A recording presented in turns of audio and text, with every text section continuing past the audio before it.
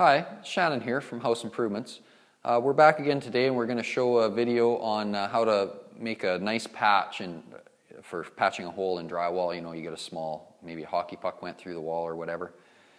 You know, you come home from a busy day and sure enough the kids have bashed a hole in the basement or somebody has bashed a hole in the wall in, in their room or somewhere and uh, now you're stuck with the task of trying to fix it. Um, you know, a lot of times you end up with one that's between a couple studs out in the middle of nowhere, and you know, what do you do? Do you cut a big chunk of drywall out of the wall so that you can get back to a stud and uh, and uh, actually screw it to the studding, or how do you support it? Well, in this case, you know, it's not an uncommon thing. You got a drywalled wall, and you end up with a hole like that, right? From whatever. The kids have done something again, and now you're fixing it. So we've got a hole. What are you going to do with it? It's all ugly. Uh, well, here's the easiest thing to do. You can see we're, we're out in the middle of a couple studs, so there's no backing or anything in there. Um, without cutting an even bigger hole and, and making a mess, uh, the easiest way to fix this up is to uh, actually cut this out square. So pick yourself a, a measurement, you know, just a little bigger than the hole you've got because you'll you'll feel on the back it kind of spalled it out on the back. It's the, the damage on the back is always a little wider than, than what's on the front. So I'm going to make about a uh, four inch hole here.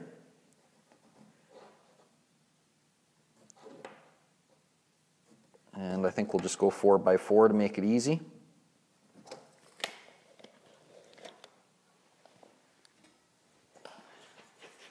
Uh, make a nice square mark on here. And then we're going to cut it out with the drywall saw.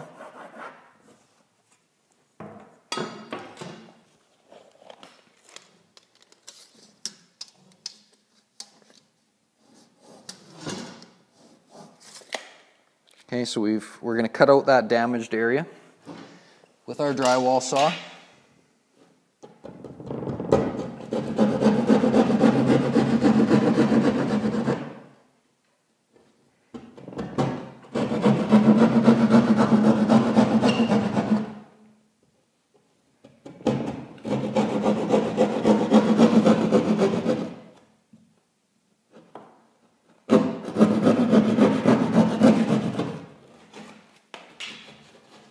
Okay, so we've got our, our nice square hole.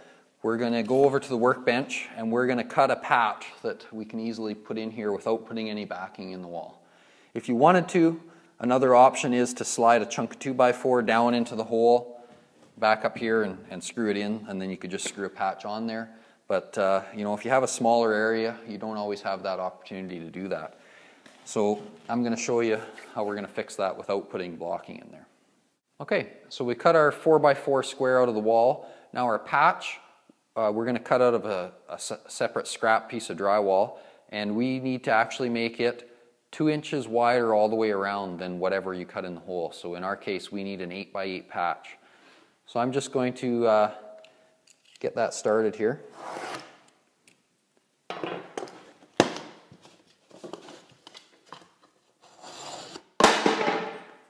So we'll first start out by getting 8 inches by 8 inches.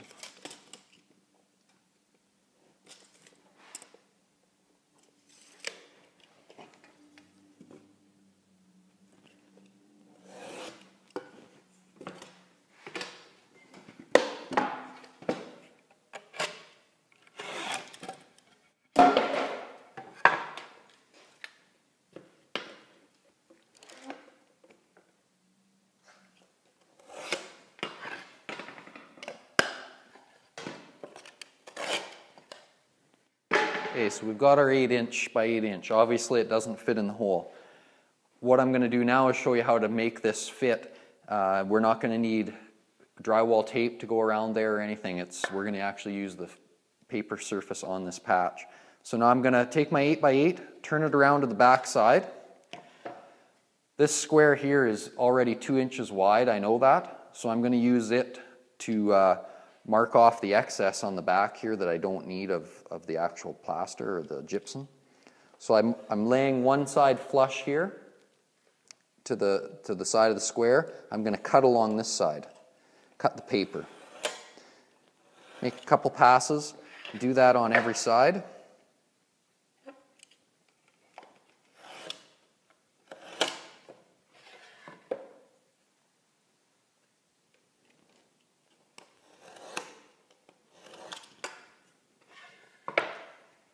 Just like so. What you end up with now is you should end up with this being four inches or just slightly under that box in the middle. And we're going to take this drywall now, we're just going to break those cuts and peel off that piece all the way around. Okay, so I've got two sides, I'm going to do the other two.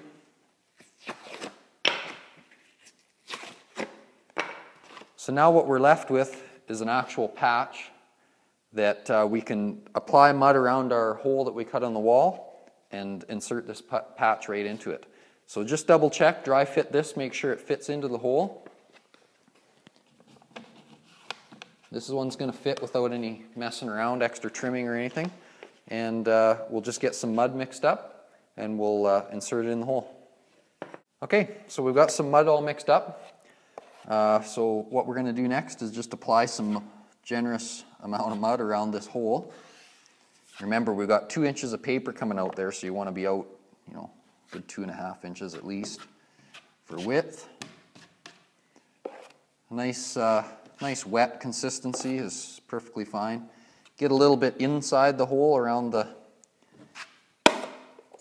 Okay, so we've got some muck on there. You can see it's generously falling out. We've got our patch. We're going to insert it in the hole. Just use our knife now to, uh, just like you would taping a, a joint or something. You're uh, squeegeeing out the excess that we aren't going to need back there.